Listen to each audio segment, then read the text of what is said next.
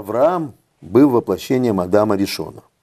Он исправил то, что нарушил Адам и Терах, и сокрушил грех и строение зла, возведенное им, то есть строение клепот, возникшее в результате прегрешения Адама, и установил господство Творца и шхины его над всем миром.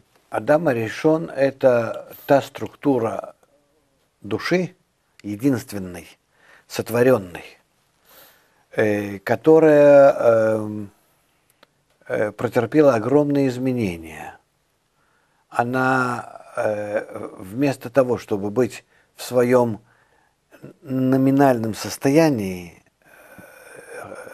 хафецхесет. Изначальном. Изначальном таком. Да, то есть ничего не получающее и нейтрально существующее. Это ее начальное исходное состояние. В райском саду. Поэтому называется это райский сад и все прочее. Да. Это общая душа, называемая Адам, была вот в таком вот состоянии нейтральном, и затем она должна была разбиться и обнаружить себя как абсолютно эгоистическая, непригодная к контакту со светом, с Творцом. Угу. Что и было.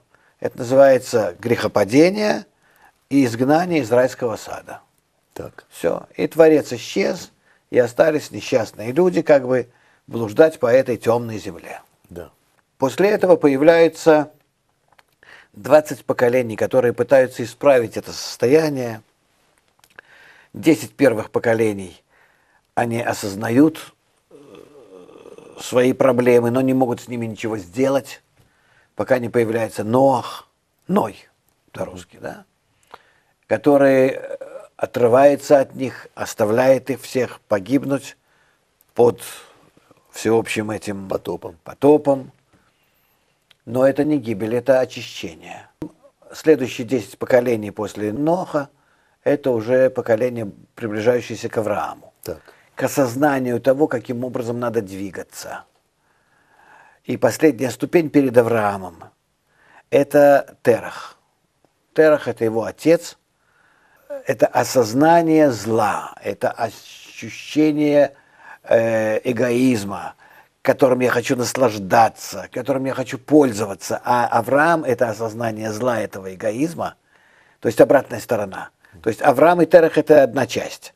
Только первая часть, Терах, это которая желает работать с эгоизмом, а вторая часть Авраам, которая уже понимает, что с этим эгоизмом работать нельзя, что это гибель. И поэтому они разрываются друг от друга, отрываются в итоге.